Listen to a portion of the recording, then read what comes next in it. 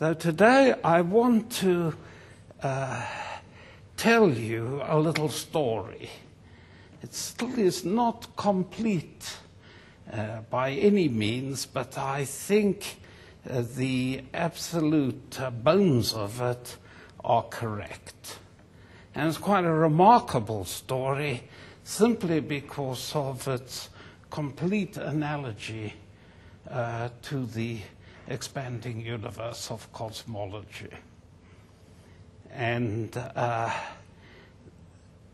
and that is, has come about because one has been able to ask really fundamental questions about genomes.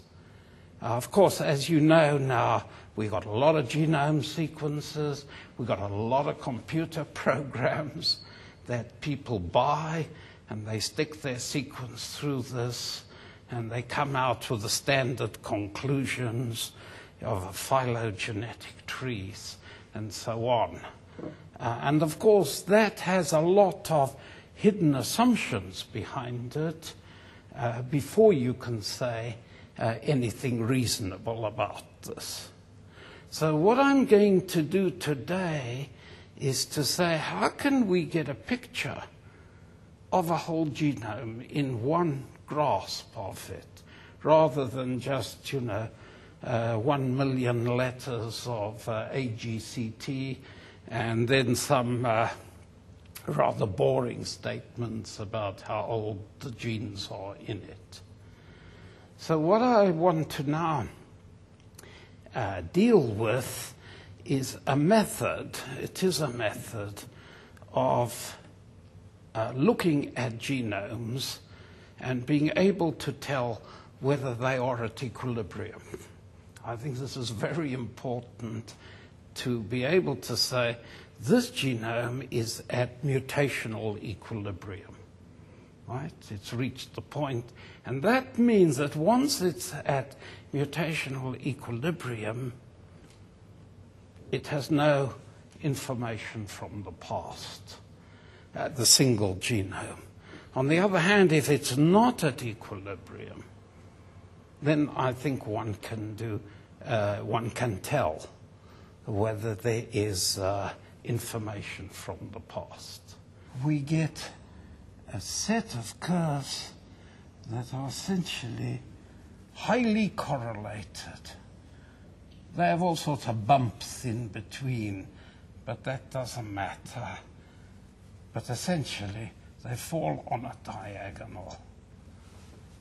Okay, so as the t increases, here the A increases in company with it. Okay, so the human genome is very, very far from equilibrium and therefore must contain information from the past. No doubt about it. And there's one very beautiful thing that I should finally add.